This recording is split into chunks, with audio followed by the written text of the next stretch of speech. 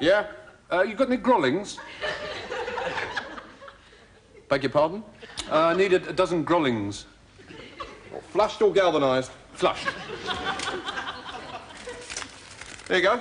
That lot. Uh, no, we've got a, a copper flange pipe, Flange pipe. two jamborees, and seven nipples. Do you want the nipples greased? Greased nipples, yeah. Um, There you go. So we've got here five olive spantles, jigged and onioned, Right, 12, 17 mil. 12 mil.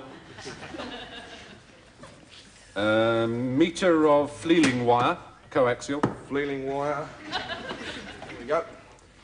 20 cock grip shafting sleeves.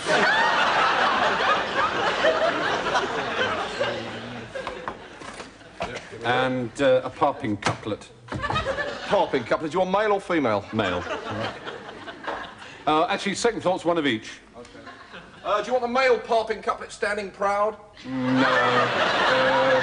Embarrassed, I think. Right, there's your female. There's your embarrassed male. Six sheets of Gruddock paper. Parkinized? No. there we go. Nearly there. And four felching pens and a beveled spill trunnion. Yeah, I think we've only got one felching pen left, as it happens. Got some frotting pencils, though. Well, they Mm, well, you know the thrush plate? Yeah. Yeah. Well, you can use the frotting pencil on that. You see, rude to the lookout valve and the thump spoke. Uh, cut out the felching altogether, provided you remember to rim the satchel arm properly. All right, well, I'll, I'll have the frotting pencils. Four frotting pencils, right. Two, three, four. Uh, and the beveled spill Beveled trunnion. spill trunnion, beg your pardon, yes. Uh, Great. that's a lot then, is it? Yep. Yeah, you've already got a triple knob joint with snatch membrane, have you? Should I have? Well, going straight or curved? Straight, then curved.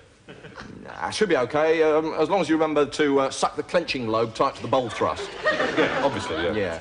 And whatever you do, don't forget to lubricate your slip hole before any grip jigging.